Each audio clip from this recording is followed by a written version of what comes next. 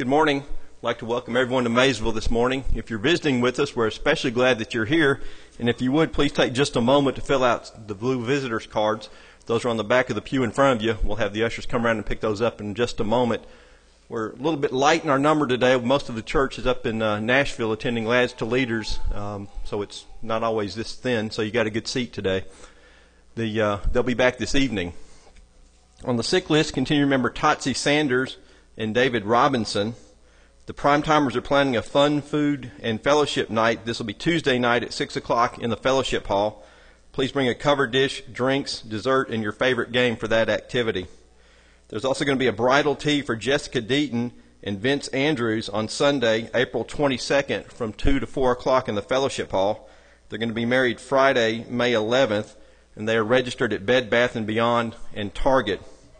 Continue to remember our gospel meeting that's coming up in about four weeks. Brother Jim Dearman will be speaking. That's going to be Sunday, May 6th through May 9th. So start inviting people to that now. Also, there'll be a gospel meeting in Stevenson. That's April 15th through 19th. And the speaker is going to be Brother Tim Rice. Our opening song this morning is number 501. 501. Our closing prayer will be led by Brian Norris. Our lesson this morning by Lonnie Jones. We'll start this morning with a prayer by Steve Watson.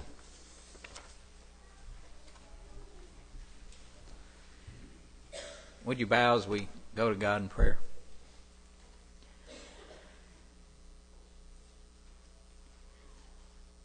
Our gracious Father in heaven, we're so thankful for this day that you've given us. We thank you, Father, for this time that we can come before you. And we know, Father, that you are all knowing and all powerful and ever present, and that you know our every need even before we ask it. We thank you, Father, for loving us and for providing for us, for caring for us, for all that you do. And we know, Father, that every good gift comes down from your hand. And help us, Father, to be ever mindful of the good things that you've done for each one of us. We pray now, Father, that you will bless us as we enter into worship of you, that we will give you the things that you require of us, that our spirit, that our worship will be in spirit and in truth. We're mindful, Father, of those who are sick and undergoing various difficulties in their lives. And we pray, Father, that your richest blessings be upon them. We're especially mindful this morning of Brother Totsy and David Robinson. We pray that you will bless these and help return them to their normal states of health. And we thank you, Father, for others that have undergone surgeries and that are doing better and even here today. We pray, Father, that you will be with the missionaries and, and those that are proclaiming your word throughout this world. We pray that the doors will be open, that the borders of your kingdom will be increased. We also pray, Father, that you will be with us as we live our everyday lives, that we will always be consistent, and that we will do the things that will be bring glory and honor to your name and not to us. We pray, Father, that you will be with those that are away this morning, that you will provide them with a safe trip back home. Pray that you will continue, Father, to be with us through this day. Pray that you will forgive us of our sins as we repent and turn those, from those things, and to live our lives in such a way that one day we will hear, Well done, good and faithful servant. It's in your Son's name we pray. Amen.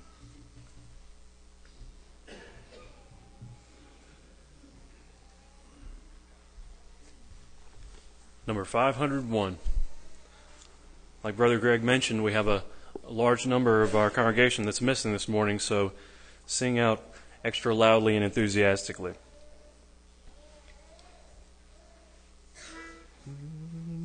Oh, worship the King,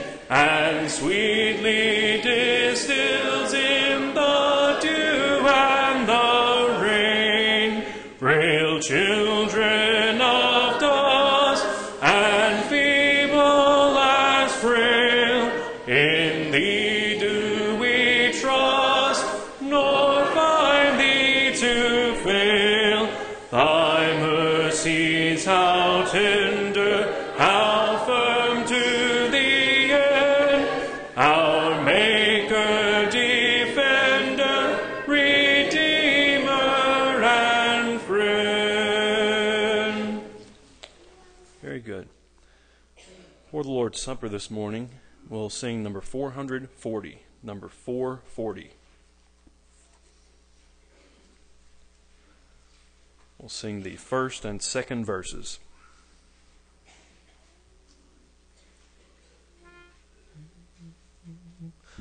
My Jesus, I love thee. I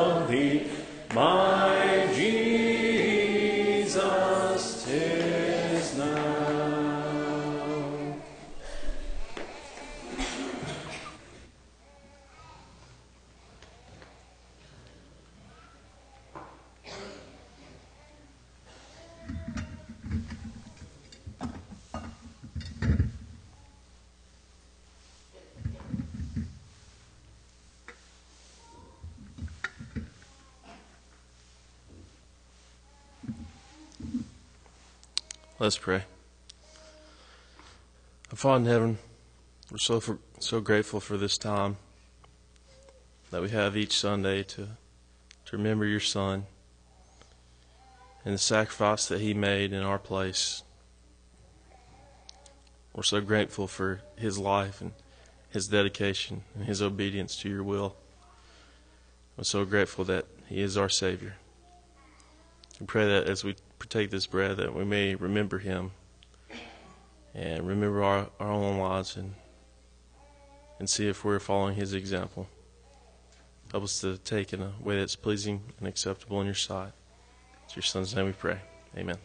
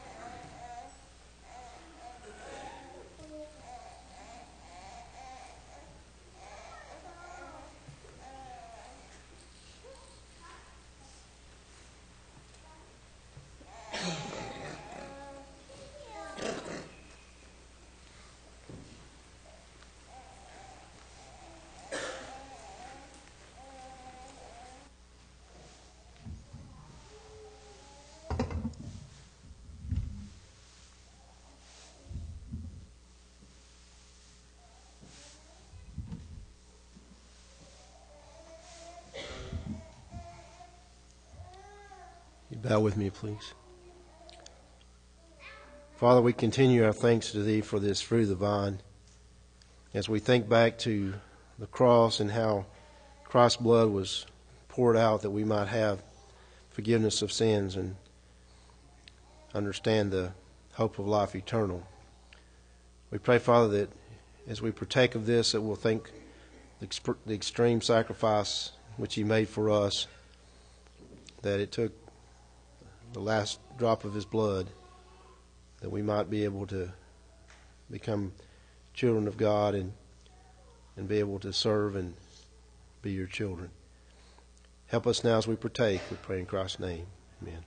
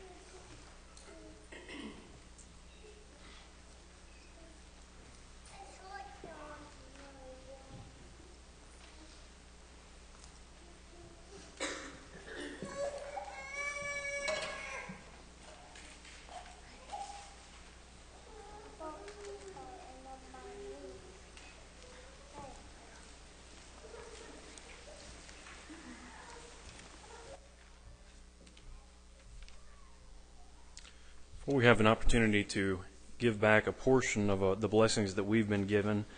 Uh, we'll be reminded about the, the true source of those blessings originally as we sing this next song, number 184. Number 184.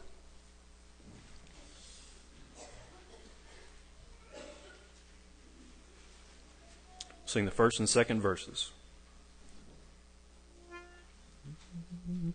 God is the fountain winds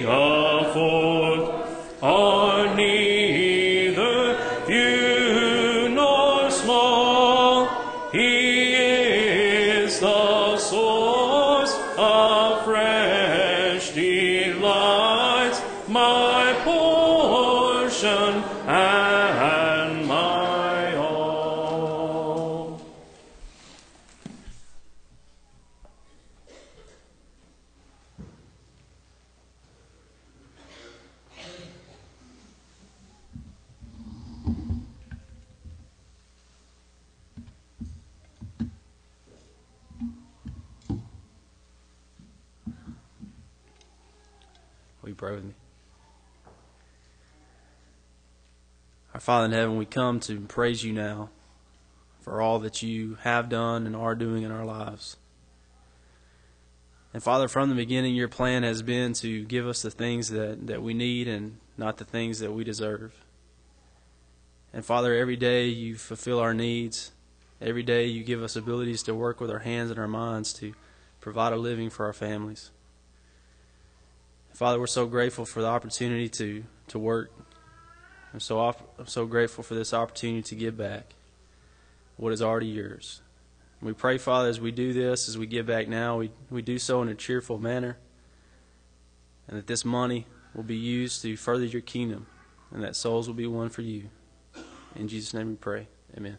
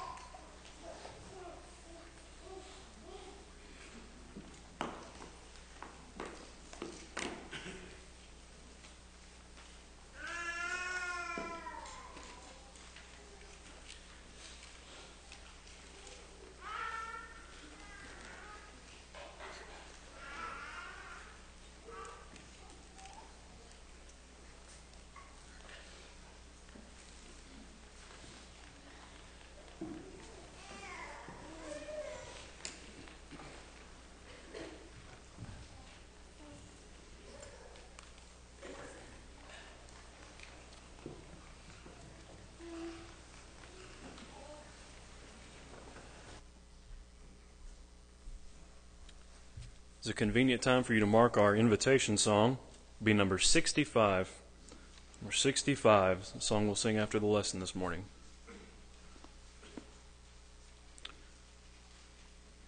After you've marked that one, please turn to hymn number 238. Number 238. I'll ask if you're able to, please stand as we sing this song.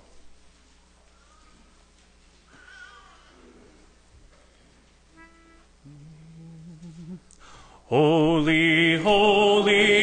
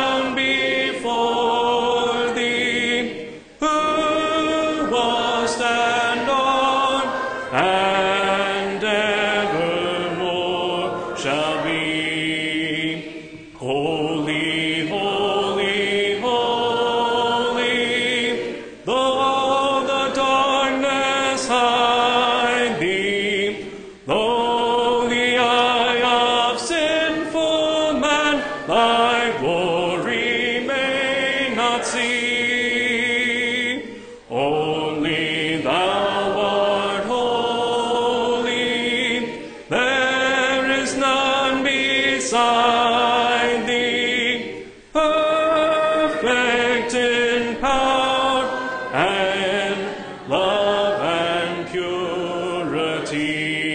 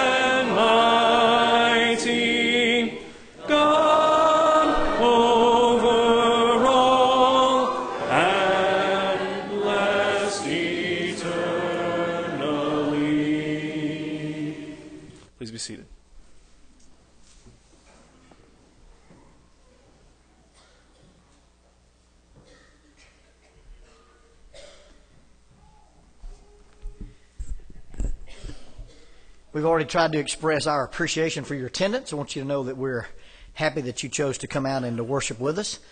It's uh, already been mentioned that a large contingent of our folks are in Nashville. We we participate in a program called Lads to Leaders. It was originally started by a gentleman named Jack Zorn, and wanted to turn lads into leaders. Interestingly enough, uh, Brother Zorn had three daughters. He had no lads to become leaders. And I went to church with Jack and with Sonia and, and Risa and Rhonda when I was a boy. And uh, the girls said, Daddy, you're spending all this time with the boys. What about us? So he expanded it to be lasses to leaderettes. Now, very often, we confuse the two names and talked about lads to leaderettes. We don't want our lads becoming leaderettes. But the program basically takes young people and trains them in several different skill areas public speaking, song leading, public prayer, debate, art, mass media, service projects, Bible Bowl, memorization of Scripture.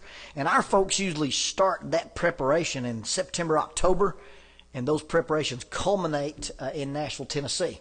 And we've got a large group of our young people and adults who've worked very hard for this weekend, and so that's where a lot of our folks are. I haven't heard yet uh, about any specific number that we took with us. I think it's usually in the hundreds, and then I don't know how our, our young people fared in their various uh, presentations, but uh, they'll be back tonight, and you'll probably get a chance to hear the young men speak that were in Nashville. If you have your Bibles, you want to turn to uh, the Gospel of John.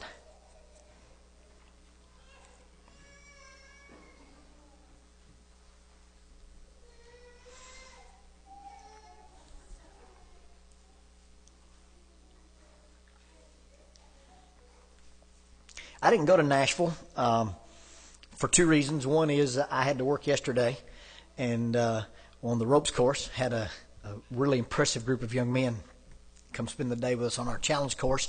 And then Tim coaches our debate group, and so he likes to be with them for the weekend. And so since he's going to be gone, I'll stay here and, and preach in the Sunday morning service.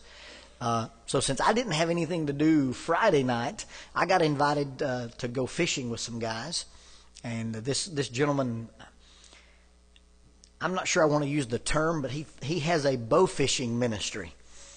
Now I'm not sure that that, that doesn't border on cult. I'm not not real sure. He's got this massive pontoon boat that he's customized to be a fishing rig. Uh, he's got three pontoons under it. If you know anything about boats, with 1,800 pounds in the boat, he only draws nine inches of water. So he can take that boat into places that that you probably couldn't even walk.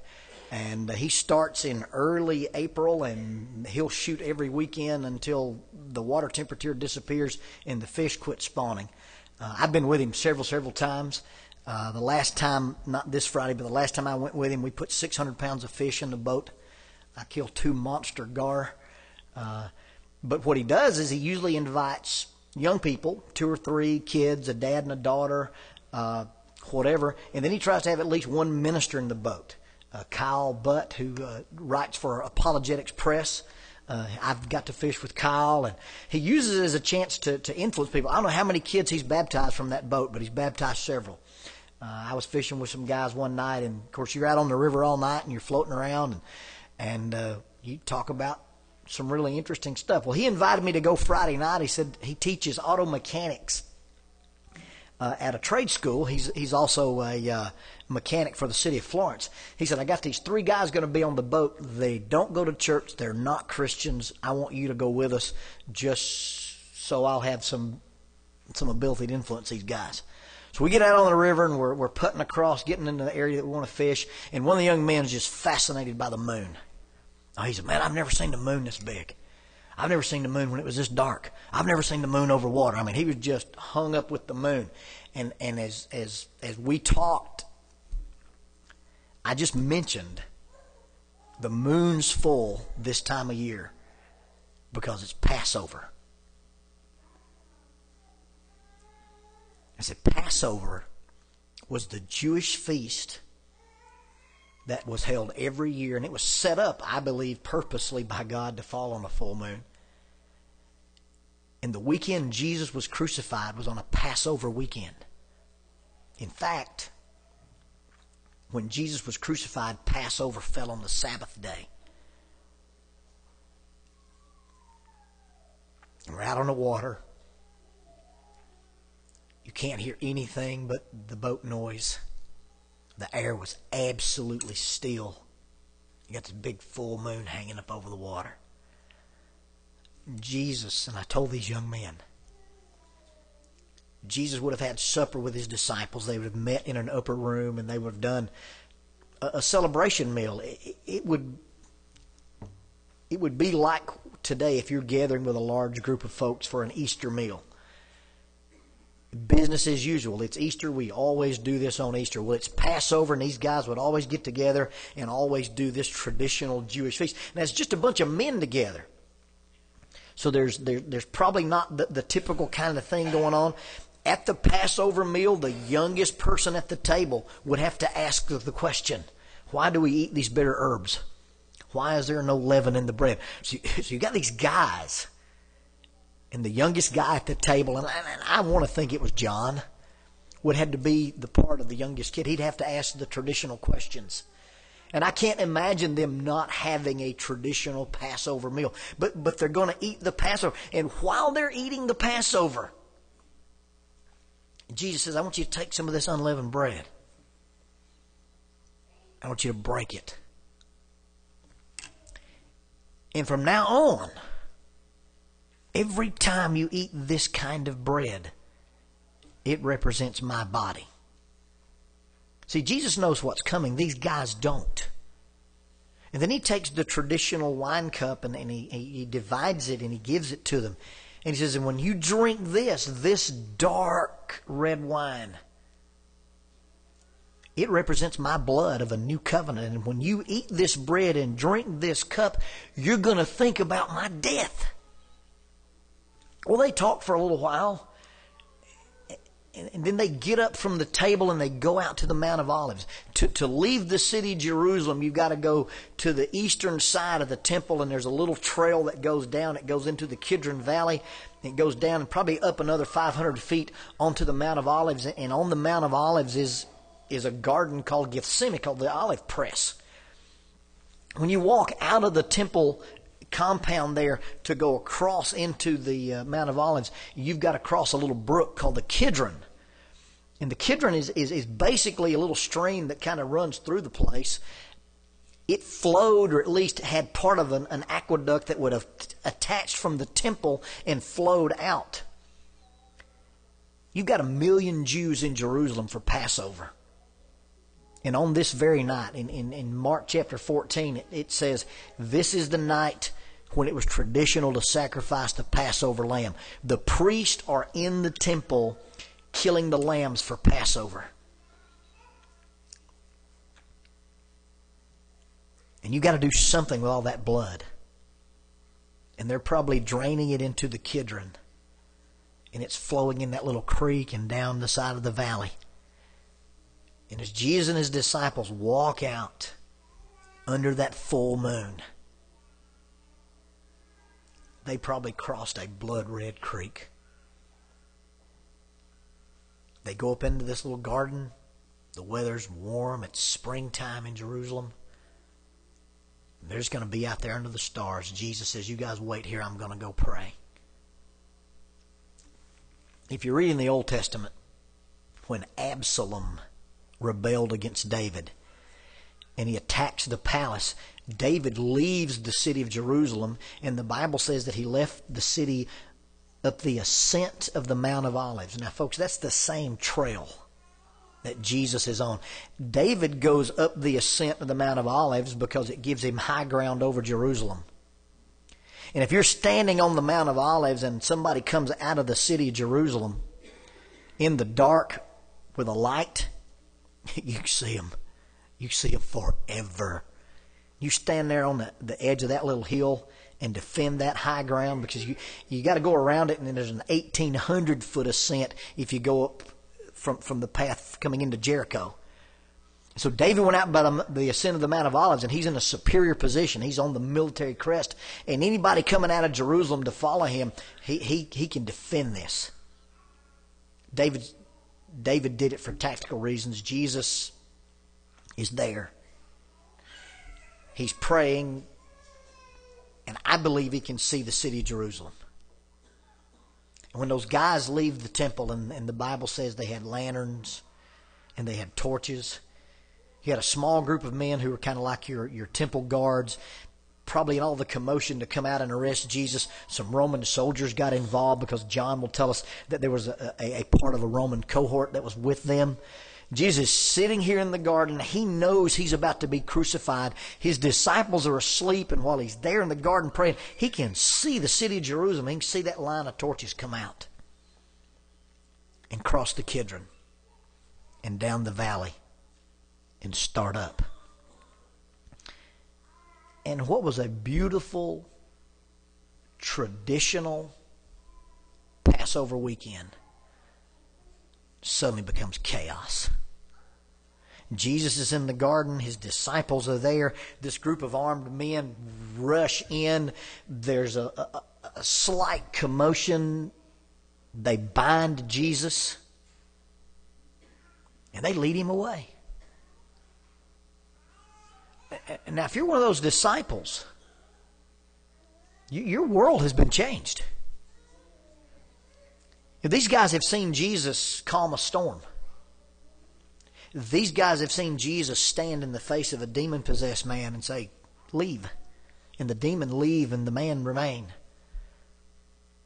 They seen Jesus stand in front of a sealed tomb and say, Roll the stone back. And heard him simply say, Lazarus, come out. A dead man, been dead three days, walks out of that tomb. For them to stand and watch Jesus be bound, helpless, and hauled away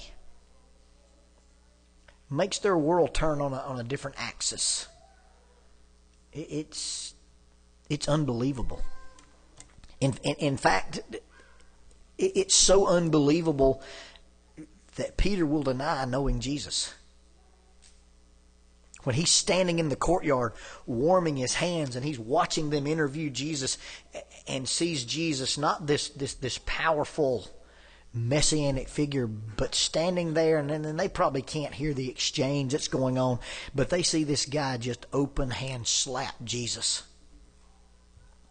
And nothing happens. And then somebody says don't you know this guy? And Peter says I don't, I, I don't know him and later on, somebody says, "You you know this guy?" And I don't know him. Folks, Peter, within 16 hours of this event, has stood in front of the disciples and told Jesus, "I'll die for you." And now he says, "I, I don't even know him."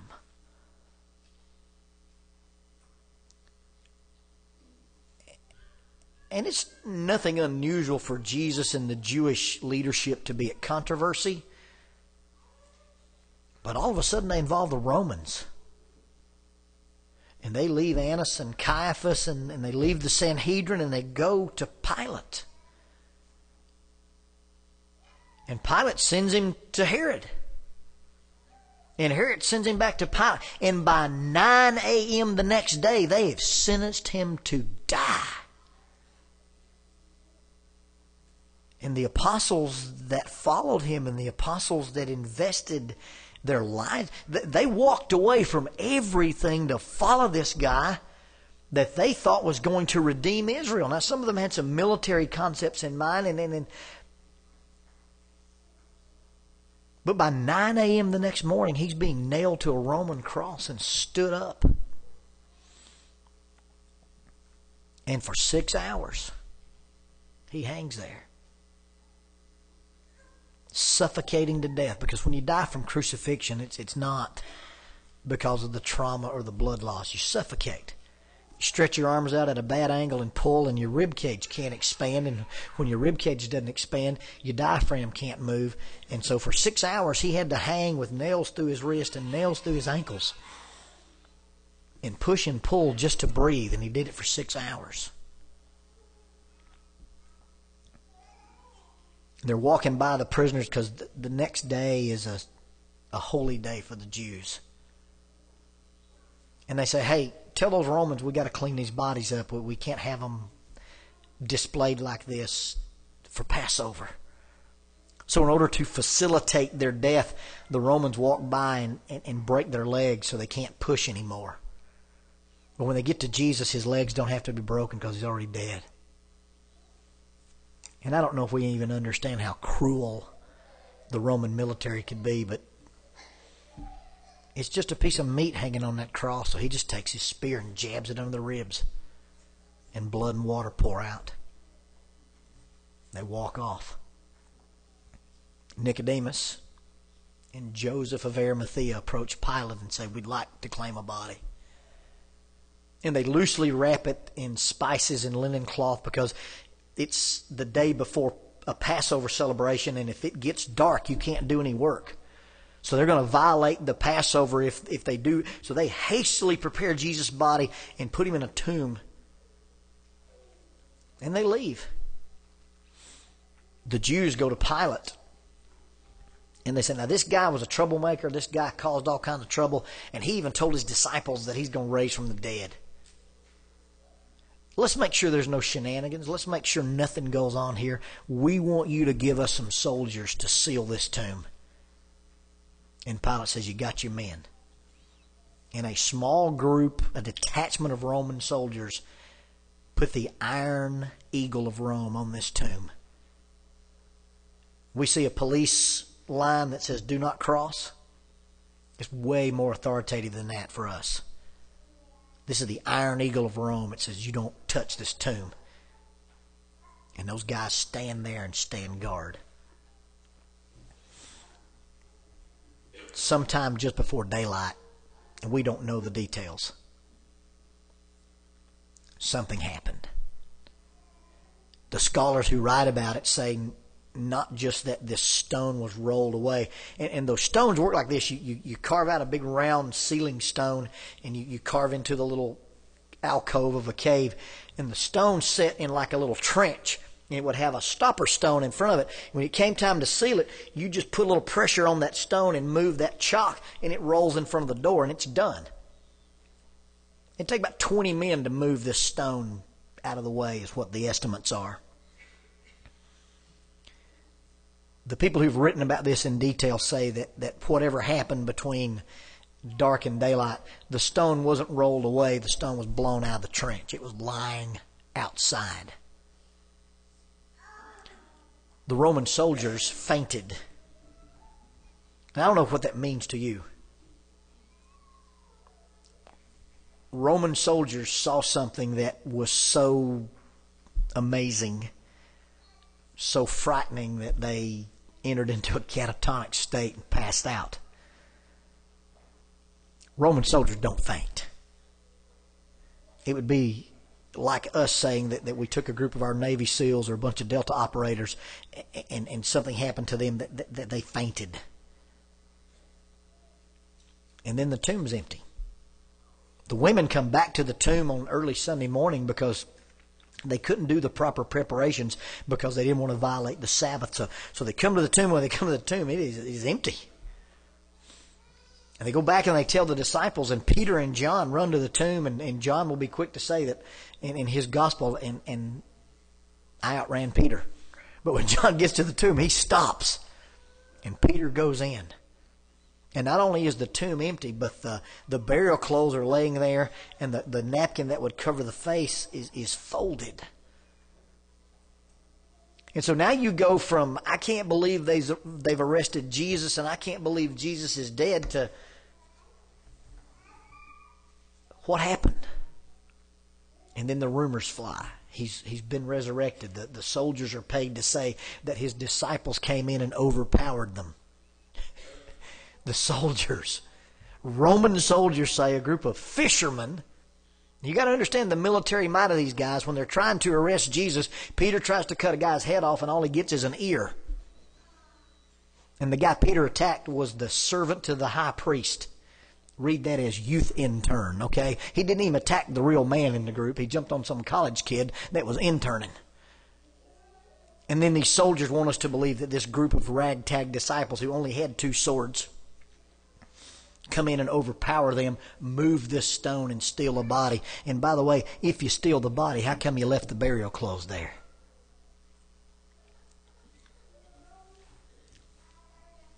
John chapter 20, verse 19. On the evening of the first day of the week, when the disciples were together with the doors locked for fear of the Jews. Hey, these guys aren't body snatchers. They're hiding. They, they, they don't have anything to do with the Romans. They're not going to touch the Roman soldiers. They really have, have no issue with being aggressive right now. They're just in hiding. They're hiding with the doors locked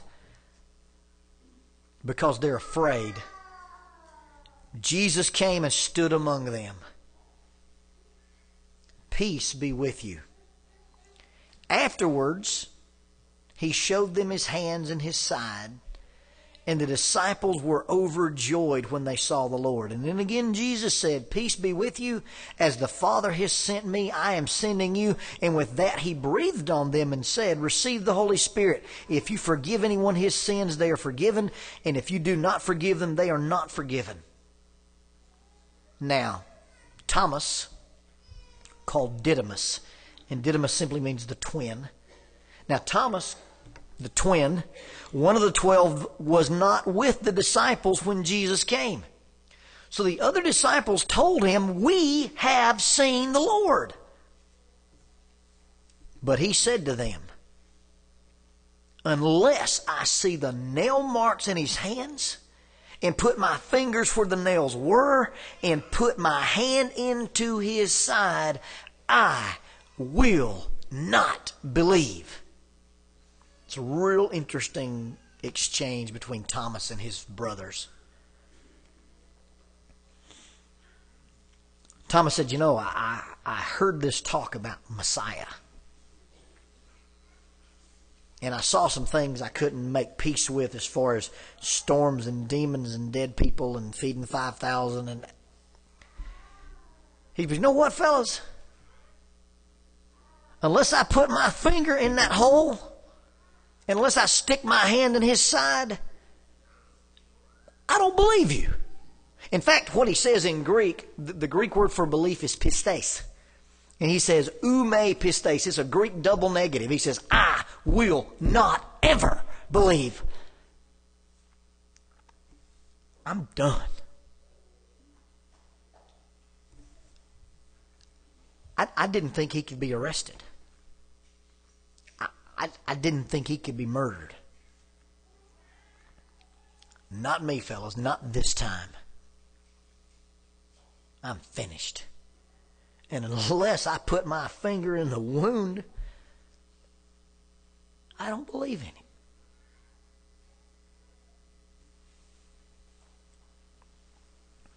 A week later, the disciples were in the house again. Thomas was with them.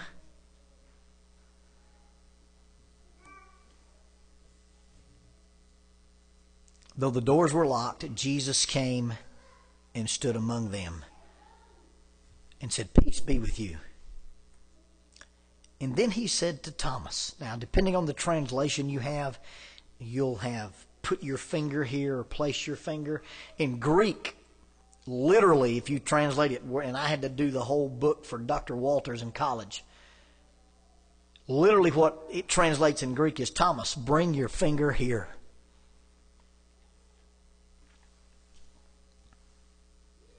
Bring your finger here. See my hands?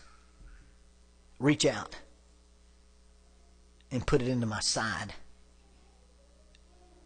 And do not be unbelieving, but be believing. And Thomas declares, My Lord and my God. Thomas has drawn a line in the sand. you know what, I, this ain't happening to me again. I'm not being fooled. You're not going to. I was there. I saw. No. And if you expect me to sign up for this again, if you expect me to even be a part, I, Thomas not even coming to their meetings. They're together and he's not there. They run into him later and say, "We've seen God."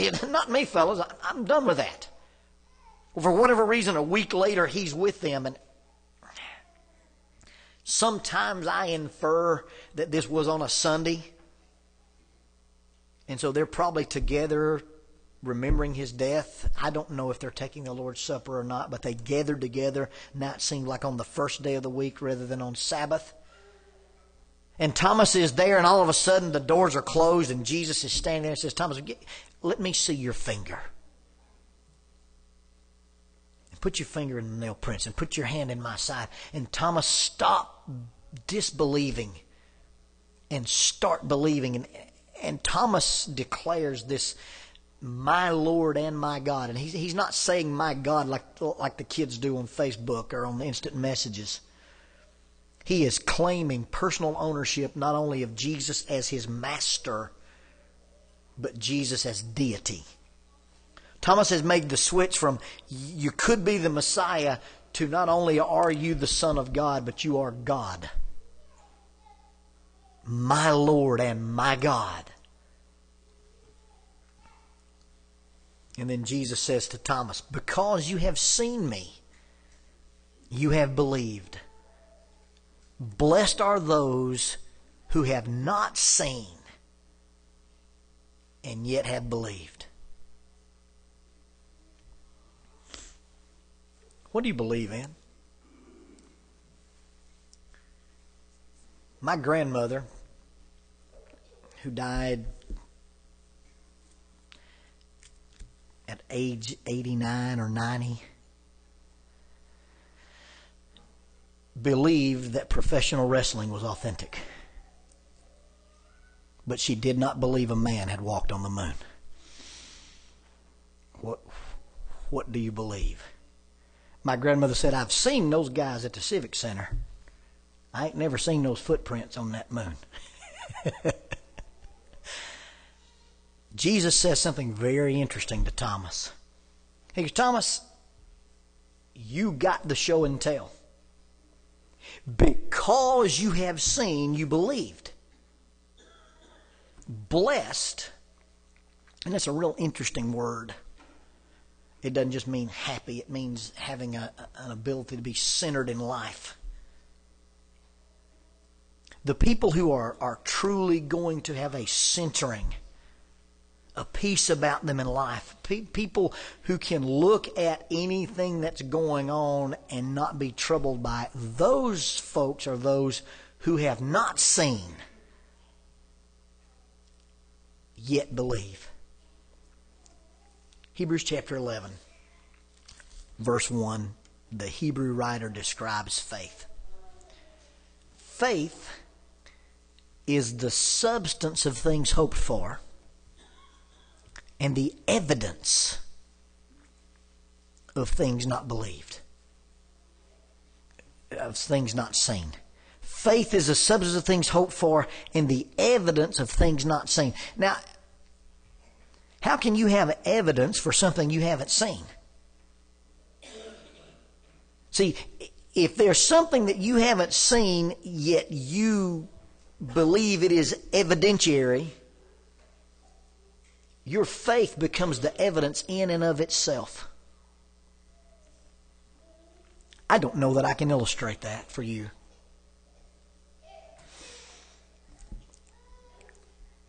when we were boys, my brother was influenced by a man that I consider to be one of the most effective communicators on the planet. An incredible scholar, an incredible teacher, and my brother got to work closely with it. My brother, in fact, worked as a youth minister at a church without a salary just to be able to be associated with this man. Early in our development, he began to have the conversation with my brother that in the coming years, now this is, you know, back in the late 70s, early 80s, that in the coming years, the most educated person in, in, in the congregation was not going to be the minister.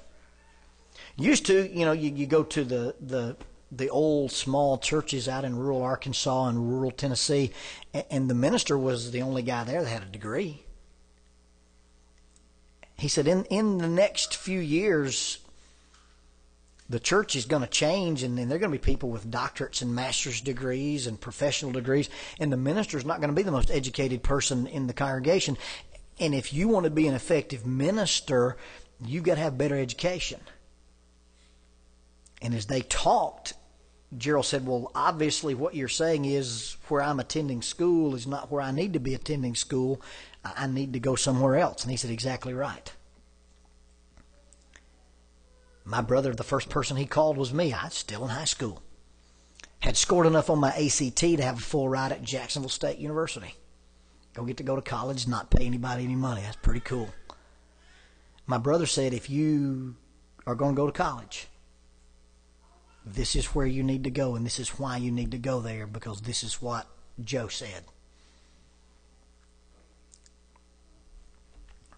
On the advice of those two men, and those two men alone,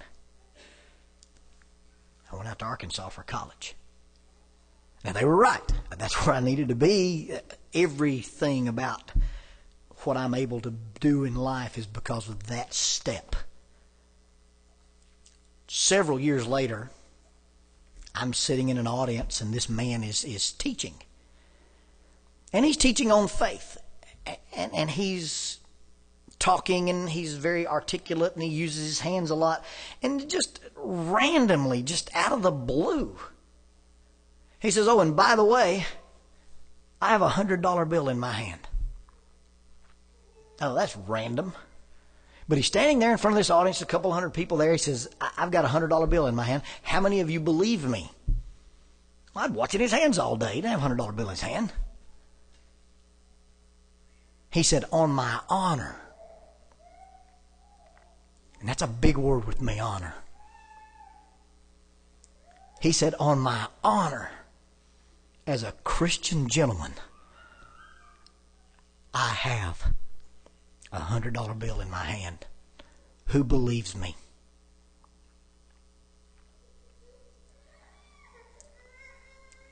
And at 22 years old, I stood up.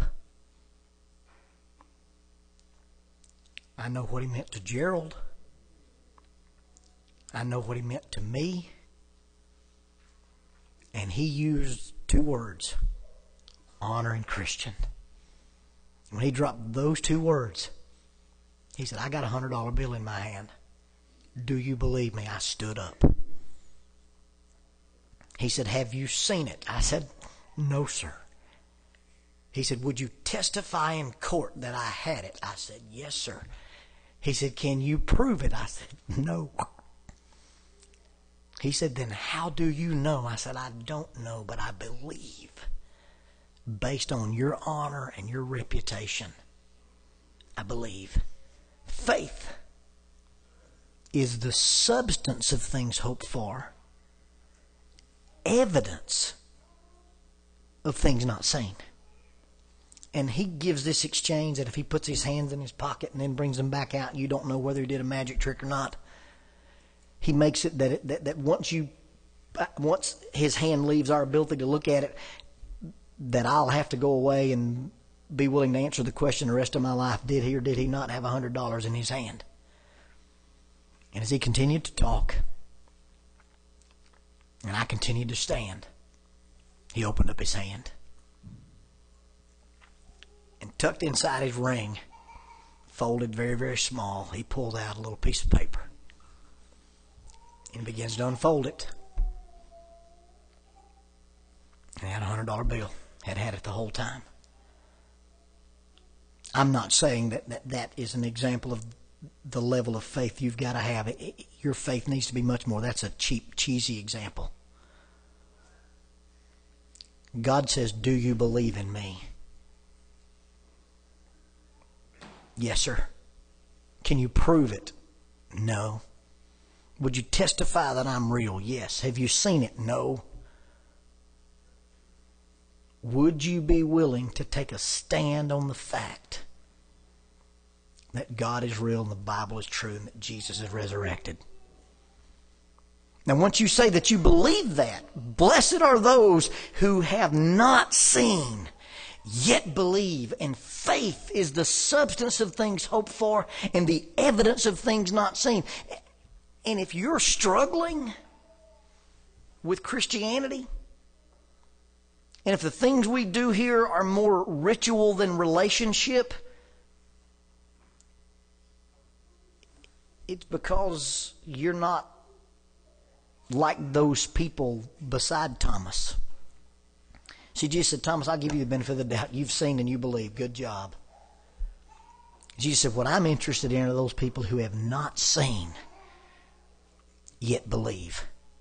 I'm interested in those people who say, I've never touched the nail prints. I've never put my hand in his side. I didn't see the cross. I've never even been to Jerusalem. But I believe. And when asked if I'm willing to stand up for what I believe in, will I take that stand, even if I have to die never being able to prove it? And the message this morning is not whether or not Jesus rose, but the message this morning is whether or not you believe it.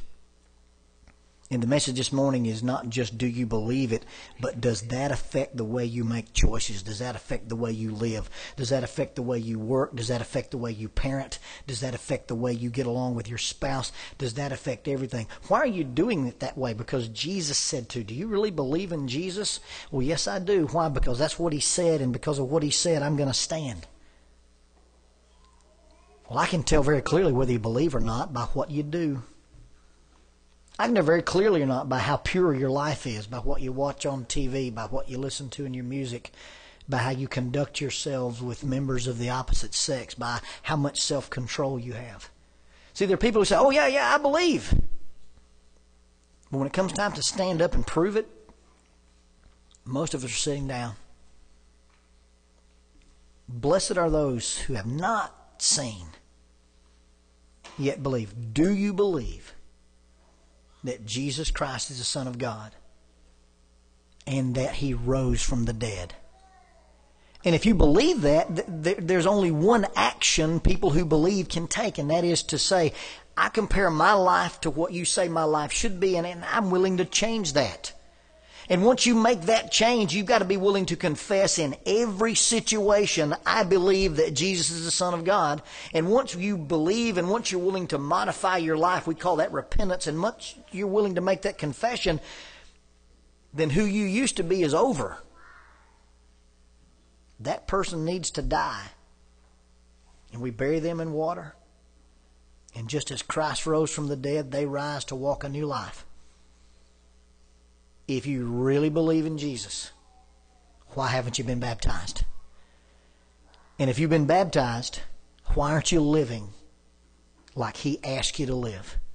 Faith is the substance of things hoped for, the evidence of things not seen. Why don't you prove what you believe about Jesus by responding to this message today while we stand while we sing?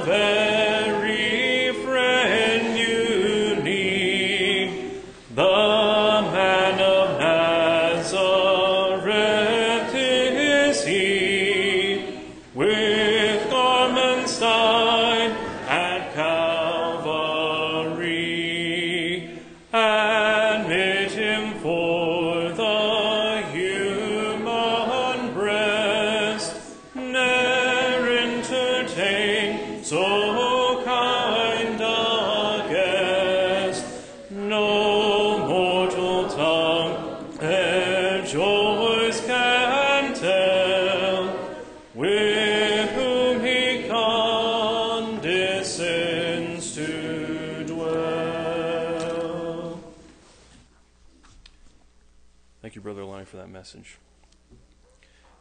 In closing, we'll sing hymn number 267. Number 267.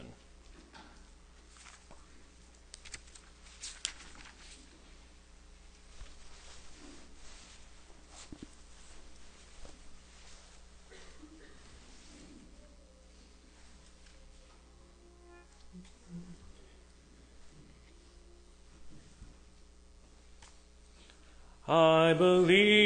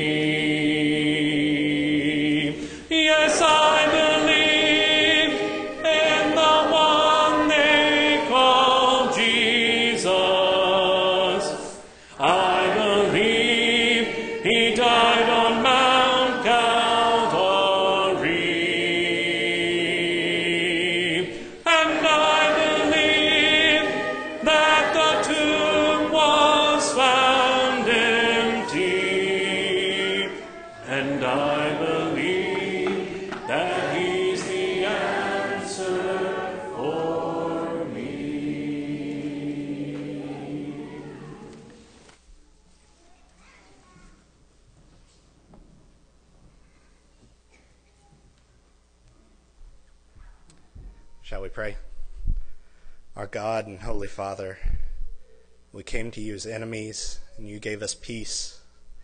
We came to you as sinners, and you gave us forgiveness.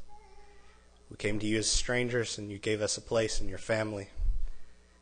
We deserve death, and you gave us life. We deserve punishment, and you gave us a pardon.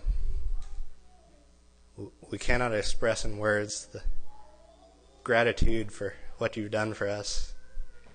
Pray that our words and our actions in this world will show some token of our gratitude towards you. We thank you for the reminder that we've had this morning of what's been done for us, and we thank you for your Son and his willingness to give for us. Father, be with us as we go forward. Keep us safe and have our faith grow for all the days that you give us. In Christ's name we pray. Amen.